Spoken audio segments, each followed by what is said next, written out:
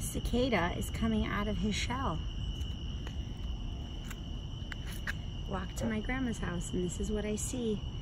He's probably gonna just fall out of it.